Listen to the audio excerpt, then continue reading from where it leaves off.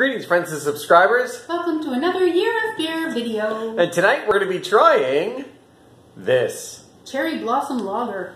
All right. Let's drink. Okay, so Cherry Blossom Lager is a seasonal lager by Fordham and Dominion Brewing Company. It weighs in at 5% alcohol by volume. It's brewed in Dover, Delaware. So this is relatively local to where we are, Well, to where we live. to where we live. That's a good point. Um, so Fordham and Dominion says that they're a mid-Atlantic tradition since 1995, so only roughly 25 years. Uh, they describe their seasonal brew as a delightfully effervescent, blushing, tart, and resembling a, ch- a cherry champagne. I guess we're going to find out if that's what it's like. Okay. Let's check it out. Yeah. So Julia was just doing some sewing off on the side. She still does crafts and stuff. It's not all year of beer videos. Yeah, it is. well, it's not. Like Julia does do other things other than drink beer. Well, Especially yeah. because I'm mostly drinking this beer, but Yeah. Technically, So- I do other stuff. I just haven't been filming it. that's right. So, uh, so yeah. So she cracked open this cherry blossom lager. Julia's Cherry gonna, blossom. yeah, she's gonna give it a smell.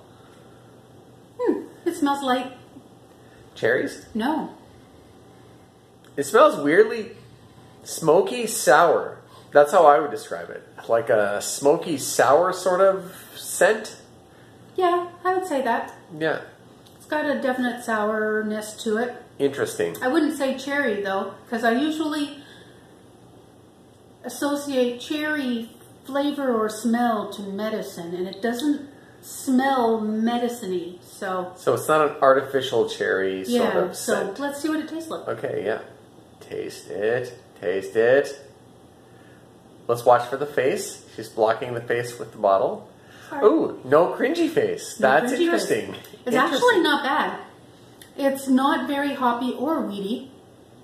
It's kind of sweet, but it has a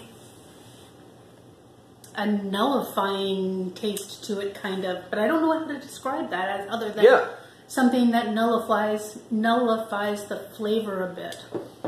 It's like on the palate right away. You get a slight sweetness. That's you Yeah. actually get a slight cherryness. Well, a little sweet, And then- yeah. To me, it's almost like um, like a smokiness or some sort of mm, almost like an. I want to describe it as an ashiness. It's not ash like in a bad sense, but like a smoky woodiness to it. So that just basically it mutes out that sweetness right afterwards. It's like burnt marshmallow. yeah, so that's what I'm talking about. You get it too. Then it's kind of like an ashy sort it. of smoky flavor. And it kind of makes it work. Yeah. if you want to say it that way. But it, you can taste a bit of the cherry, but it's it's not strong. Uh, there's not a lot of hoppy flavor to it, No. but it is a nice sour, sweet Yeah. Beer. It's a pleasant sipper. Yeah, it's not bad at all. So, yeah, so so there's not much else to say about Cherry Blossom Lager. by Fordham and Dominion, except for Go out and find it. Buy it. yeah. Thanks for liking, commenting, and subscribing. And as always, Thanks for drinking with us. cheers. Cheers.